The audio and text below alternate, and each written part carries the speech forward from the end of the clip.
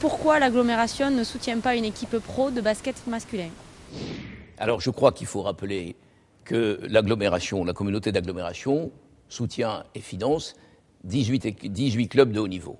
Et que le choix qui a été fait, qui est un choix politique, c'est, euh, et même 22 clubs de haut niveau parfois, selon certains budgets, en fonction de ce que l'on ajoute au budget en cours d'année.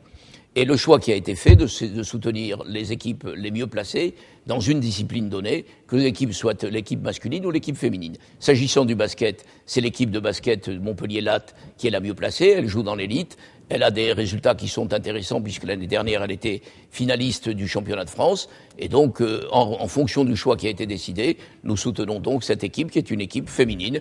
Et c'est pas plus mal d'ailleurs, puisque le sport féminin mérite aussi d'être à l'honneur. Et en l'espèce, il l'a été avec le, les succès remportés l'année dernière par l'équipe de basket de Latte.